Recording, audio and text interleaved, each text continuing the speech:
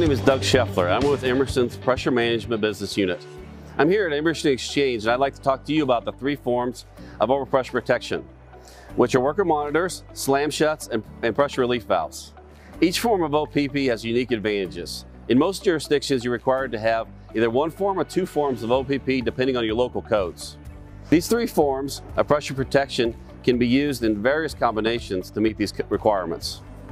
These Fisher Type EZH and EZH-SO regulators are set up in a worker monitor application. In the event that there's a failure of the working unit, the monitor regulator will take over and maintain pressure downstream. This keeps the customer online and tells the pipeline operator that there's been an event because of the change in downstream pressure set point.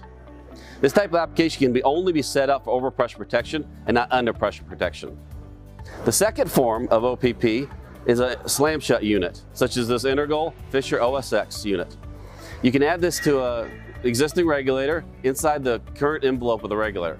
Slam shut devices are great because they shut down the pipeline quickly. This unit can be set up for both overpressure and underpressure protection.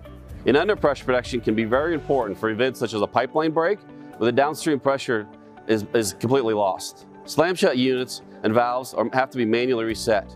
This is so they have time to go out there and diagnose the form of the failure. They can be set up in both a standalone or an integral unit such as our Fisher OSEs. The third form of overpressure protection is a pressure relief valve such as this Anderson Greenwood Series 400 pilot operated valve. Pressure relief valves maintain a steady supply of gas to the customer while allowing normal operation to resume in case of a momentary OPP event.